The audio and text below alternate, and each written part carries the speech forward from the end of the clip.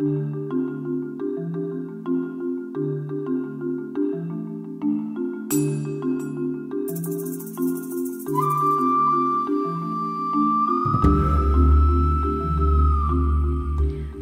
heute zeige ich euch, wie man ein Zwiebelhautpräparat von einer roten Zwiebel zum Mikroskopieren herstellt. Und ich habe quasi mir Zwiebeln gekauft. Ähm, am besten sind da die roten, gehen auch die weißen, aber am schönsten sieht man es mit den roten Zwiebeln. Und dazu brauche ich erstmal einen sogenannten Objektträger, der quasi hier schon quasi vorliegt. Und ich brauche dazu auch noch sogenannte Deckgläschen, die sind eben hier auch zu sehen. Jetzt meine ungeschälte Zwiebel, die brauche ich erstmal nicht mehr, ich habe sie schon geschält. Und ich schneide die jetzt quasi für die Schüler schon vor.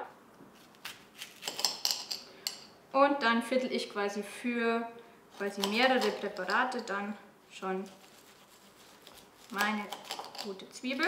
Und ihr seht schon, die zerfällt jetzt schön in viele Teilchen, die ich dann jeweils hier an meine Schüler verteilen kann.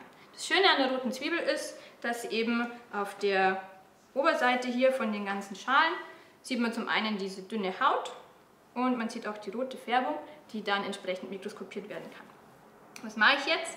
Ich nehme mein Skalpell und ritze jetzt sozusagen kleine Rechtecke in die Zwiebelschale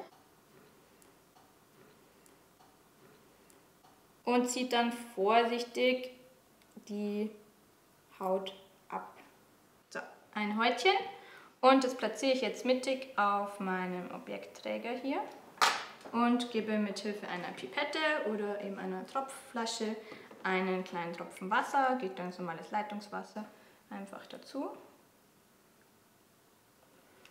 Und dann kommt der kniffligste Teil und zwar muss ich jetzt mein Deckblättchen, das ist ein ganz dünnes Glas, das möglichst sauber sein sollte, möglichst so platzieren, dass möglichst wenig Luftblasen jetzt unter dem Gläschen eingeschlossen sind.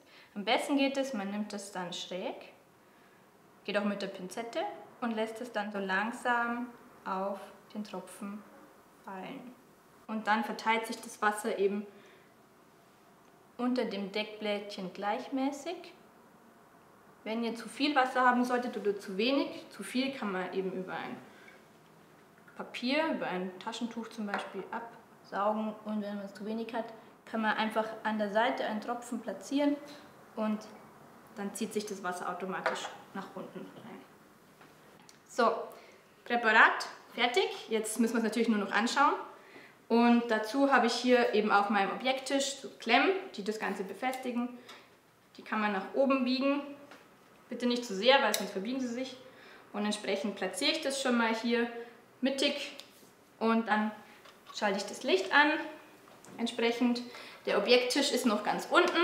Das heißt, kleines Objektiv, man sieht erst noch mal gar nichts, sondern man muss jetzt das Ganze noch möglichst weit oben bringen. Und dann kann man schon mal einen Blick wagen und mit der Feinjustierung dann entsprechend schauen,